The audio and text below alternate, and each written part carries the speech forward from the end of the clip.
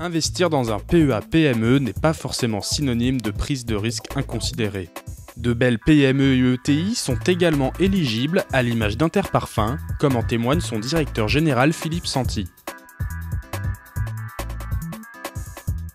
Interparfum crée, fabrique et distribue des parfums de prestige sous licence. Nous avons un portefeuille d'une dizaine de marques, dont notamment Boucheron, Balmain, Repetto, Karl Lagerfeld, Lanvin, Jimmy Choo et Montblanc. La société a réalisé 350 millions d'euros de chiffre d'affaires en 2013 avec une rentabilité de 10%. Euh, la société emploie 200 personnes, euh, essentiellement basées à Paris, rond-point des Champs-Élysées.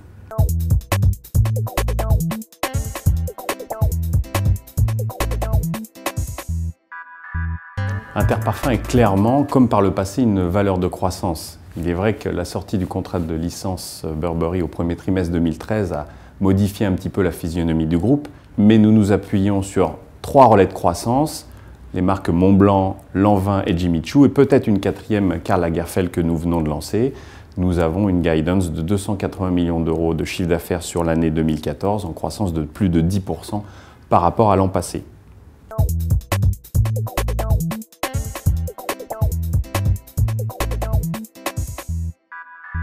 Aujourd'hui, il est clair que nous avons à la fois les marques et l'organisation pour retrouver un niveau de chiffre d'affaires, disons 450 millions d'euros, qui était celui que nous avions en 2012 avec la licence Burberry.